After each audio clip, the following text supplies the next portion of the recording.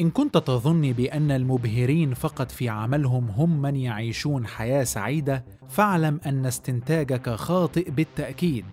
وباتريس نوفو مثال جيد. مدرب فرنساوي وابن لاعب فرنساوي سابق إمكانيات مادية جيدة وبداية رائعة في التدريب في فرنسا ورغم ذلك يختار السفر والتنقل في إفريقيا على مدار 22 سنة. نجاحات مبهرة؟ مفيش. ويمكن تاريخ الكورة ما يذكروش مع اعتزاله لفترة طويلة لكن الأكيد إن ذاكرته هتكون دايما عامرة بالذكريات الجميلة. ليه سبت فرنسا وبحب التدريب في أفريقيا؟ بسبب العاطفة. في فرنسا بقت الكورة مفتقدة للعاطفة. أما في أفريقيا فبتغيب الإمكانيات المادية لكن بتحضر العاطفة والشغف للعبة. ولو هختار هختار العاطفة. دي كانت كلمات سابقة لباتريس نوفو في حوار سابق.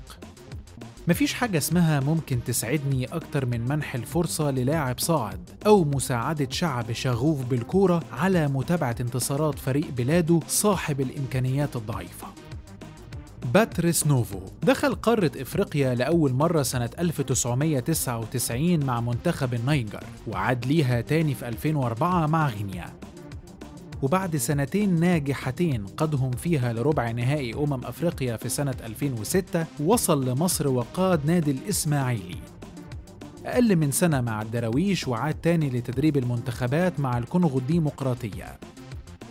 تجربة ما كانتش ناجحة علشان يعود لمصر تاني مع سموحة. وفي 2012 كانت تجربة إفريقية جديدة مع منتخب موريتانيا قبل ما يسيب إفريقيا لمدة ثلاث سنين مع هايتي ولاوس.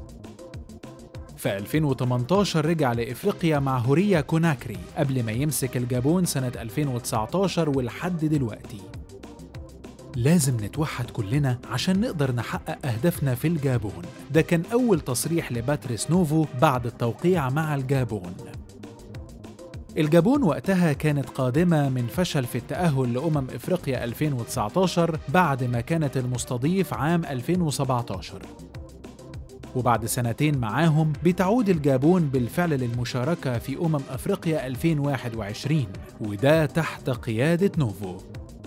هوايتي المفضلة هي التعرف على الناس أنزل في الشوارع والجبال وأتعرف على ناس جديدة وثقافات جديدة. دي هوايات باتريس نوفو واللي ممكن تفسر لك موافقته على غربة 22 سنة بعيد عن فرنسا بدون زهق. ومع الجابون هيكون باتريس نوفو مطالب بتحقيق أمل جديد لبلد ما سبقش له الفرحة بسبب الكورة. بلد جابت أوباميانج اللي وصل لحمل شارة قيادة أرسنال لكنها ما وصلتش لأبعد من ربع نهائي أمم إفريقيا حتى لو استضافت البطولة على أرضها. الجابون في المجموعة الثانية مع المغرب وغانا وجزر القمر. يمكن على الورق الجابون هي المصنف الثالث في المجموعة لكن مزاحمتها لغانا على المركز الثاني مش مستبعد في ظل تراجع مستوى ال Black Stars. وحتى في حالة احتلال المركز الثالث فالتأهل ضمن أحسن توالت هيفضل شيء ممكن الحدوث. ووقتها هيكون خصمهم في دور ال 16 هو متصدر المجموعة الأولى اللي فيها الكاميرون صاحبة الأرض وبوركينا فاسو وإثيوبيا وكاب فيردي.